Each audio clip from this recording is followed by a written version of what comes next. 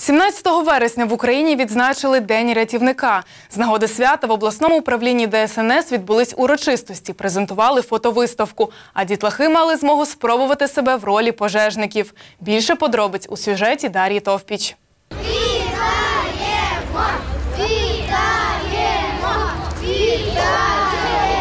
В головному управлінні ДСНС області відбувся день відкритих дверей. Усім бажаючим цього дня демонстрували техніку, з якою мало не щодня працюють чернівецькі рятувальники: автомобілі, спецзасоби, захисні костюми. На загал представили і ту техніку, яку використовували сотні років тому.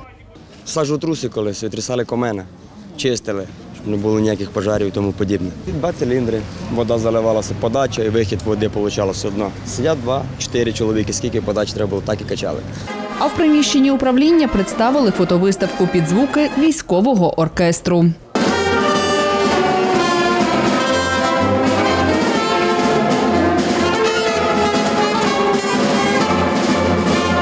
Головному управлінні ДСНС відбулись також урочистості, під час яких кращих з кращих нагородили відзнаками за заслуги та грамотами. Дар'я Товпіч, Сергій Бабій, Чернівецький репортер, телеканал Чернівці.